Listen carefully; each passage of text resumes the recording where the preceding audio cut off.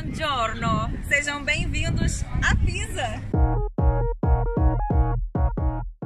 Quem nunca ouviu falar na Torre de Pisa? Ela é um dos monumentos mais famosos do mundo. Ela fica em Pisa, mais especificamente na Praça dos Milagres, onde a gente está agora.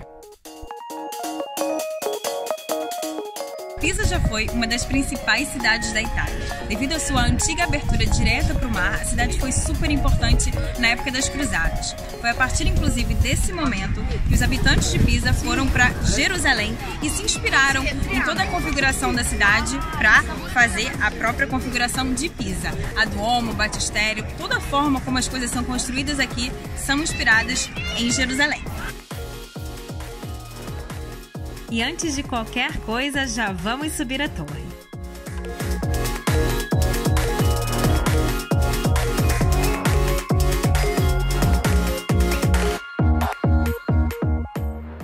E olha, para quem vem tem que estar preparado. São vários degraus e eles são desnivelados, inclusive escorregadios.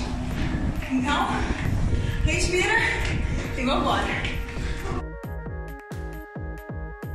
Acabei de chegar no topo da torre. Até que foi melhor do que eu pensava. Achei que fosse ser mais cansativa. A torre não é muito alta. Então, deu tudo certo. E a vista é bem bonita.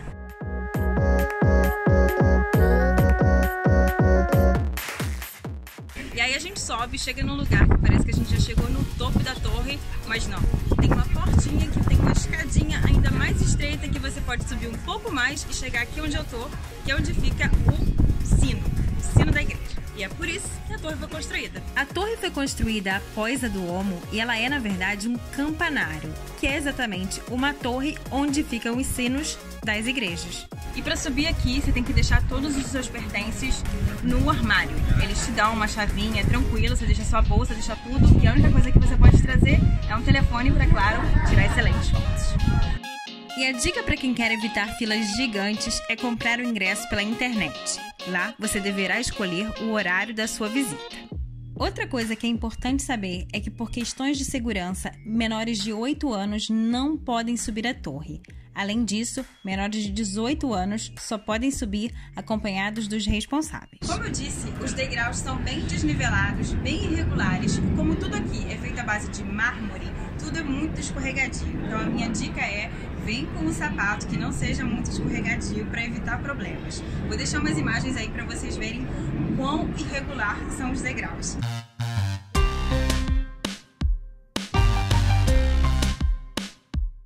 E agora de volta à Praça dos Milagres. E ela foi configurada para abrigar alguns monumentos que marcam a vida religiosa do homem.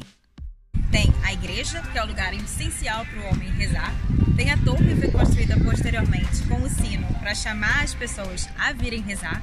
Tem o cemitério, que é esse aqui atrás de mim, onde as pessoas acabam as suas vidas. E o batistério, que é onde as pessoas eram batizadas. A praça ainda conta com um antigo hospital, que é esse aí que a gente está vendo agora. Aqui agora em frente ao batistério e antigamente os batizados eles não eram feitos dentro da igreja. Existia exatamente um batistério que ficava nas proximidades da igreja e ficava num lugar que tinha que ter água corrente para fazer os batizados. E é por isso que o batistério está aqui em Pisa. E uma curiosidade é que Galileu foi batizado aí. O engraçado aqui é ver a quantidade de gente tentando fazer as mais variadas fotos com a torre. Sabe aquela clássica de tipo tentar empurrar a torre, coisas assim. Dá só uma olhada na quantidade de gente tirando foto. E aí, você acha que a torre foi construída assim inclinada propositalmente ou você acha que a torre se inclinou com o tempo? Gente achava que a torre tinha sido construída assim, inclinada, propositalmente. Mas não. Na verdade, as pessoas que construíram a torre não fizeram um teste do terreno antes. E o terreno aqui era completamente instável, realmente nada feito para abrigar uma torre como essa. O terreno tinha uma grande camada de areia e argila, ou seja, pronto para dar problema foi isso que aconteceu. Logo após cinco anos que a torre começou a ser construída, ela já começou a ser inclinada. Quando ela tinha apenas três níveis, ela já começou a ser inclinada e aí a construção parou. Ficou um século inteiro sem construir e depois a construção recomeçou. Na verdade, nos anos 90, inclusive, a torre perigou cair de vez. A torre ficou fechada para o público bastante tempo, durante alguns anos, e reabriu nem faz tanto tempo assim. Para nossa sorte, porque é um privilégio poder subir a torre e saber que você está subindo num monumento que quase caiu, que existe um esforço tremendo para manter ele em pé. Depois que a torre começou a ser inclinada, o engenheiro encarregado do projeto tentou compensar a inclinação construindo os demais andares ligeiramente mais altos do lado em que a estrutura pendia para baixo. Mas isso acabou não dando certo e a torre continuou a inclinar. Em 1997, finalmente veio a solução. O que foi feito foi retirar a terra do lado inclinado e reforçar a fundação com placas de chumbo para evitar qualquer perigo de desmoronamento enquanto o trabalho era realizado. E aí isso deu certo e em 2001 a torre foi reaberta. De todos os monumentos que a gente encontra aqui na Praça dos Milagres, o único gratuito é a do Oco.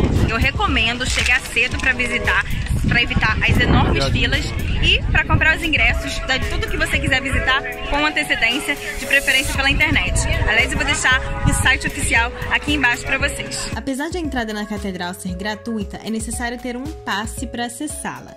Se você tiver comprado uma entrada de qualquer outro monumento, você vai ter o horário livre para entrar na catedral. Do contrário, é melhor chegar cedo para pegar um passe que vai ter horário fixo para sua entrada na igreja. Como vocês podem ver, ela é super bonita e a entrada vale muito a pena.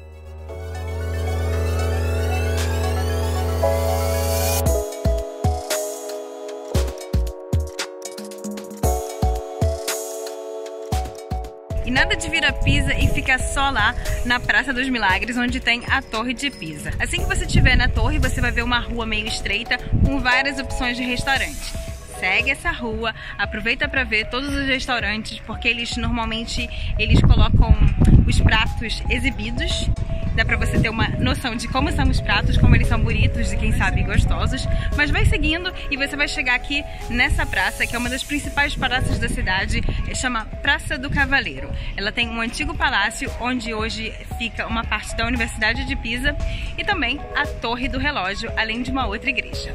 E depois de andar tanto pela cidade, eu merecia uma pausa gastronômica. E aí vocês podem ver que eu encontrei um lugar bem local, super gostoso. Além do calzone, que tá bem bonito, eu recomendo a focaccia com titina, que é uma farinha à base de grão de bico típica da cidade.